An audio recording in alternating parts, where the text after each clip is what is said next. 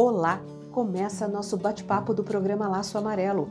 Eu sou a Daniela Gurgel e nesse podcast damos dicas para que seu caminho seja seguro em qualquer meio de transporte. Mais de 30% das mortes registradas em 2020 no trânsito no Brasil foram de pessoas com menos de 30 anos. Isso corresponde a quase 10 mil mortes por ano nessa faixa etária. A cada dia, cerca de 27 jovens de até 30 anos morrem vítima de um acidente de trânsito no nosso país. Para mudar esse quadro, é fundamental que todos conheçam os riscos e se protejam, estando a pé, de bicicleta, de motocicleta, num carro ou mesmo num ônibus ou caminhão.